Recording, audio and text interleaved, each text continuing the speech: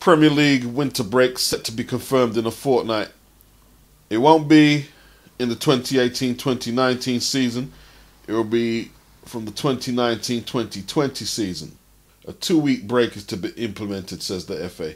They're saying this will mark more than the end of a decade of debate over giving top players recuperation time after the busy Christmas schedule. Nah, it's been longer than a decade. It's been longer than a decade.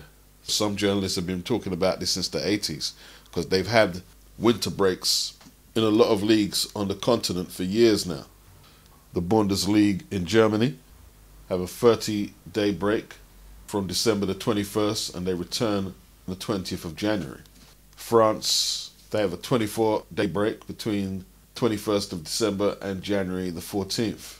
La Liga, Spanish league, from what I know, I don't think they always have them, but you know, they do have breaks, 18 day breaks. In Italy, they have 16 days off from December the 22nd till January the 7th. Even the Scottish Premier League, they've been doing this for a few years now. Before the Premier League, that's backward of the FA over here.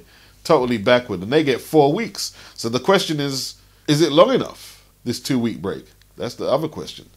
It will allow foreign players to spend a little time with their families in the countries they came from. Better recuperation for the players, which will benefit international and league teams, especially in the UK. The teams will not be allowed to use these breaks as money making tours. They won't be able to do that. They'll be able to travel and do warm weather training, but that's it. But that's it. Your thoughts, your thoughts, your thoughts.